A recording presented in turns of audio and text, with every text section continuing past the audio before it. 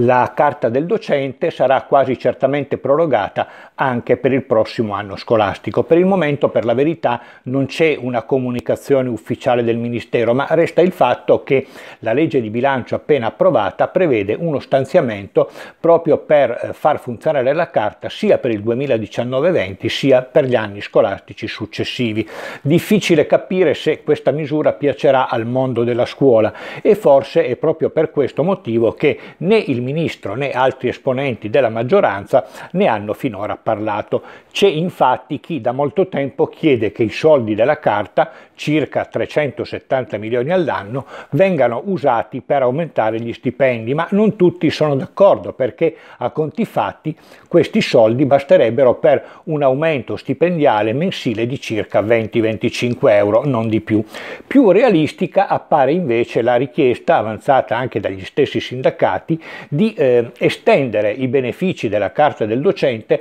anche ai docenti eh, non di ruolo o perlomeno a quelli che eh, godono di una supplenza annuale. Per intanto è bene comunque ricordare che gli eventuali residui del 2016-17 che non siano stati spesi entro il 31 di dicembre scorso non potranno più essere utilizzati e quindi andranno persi.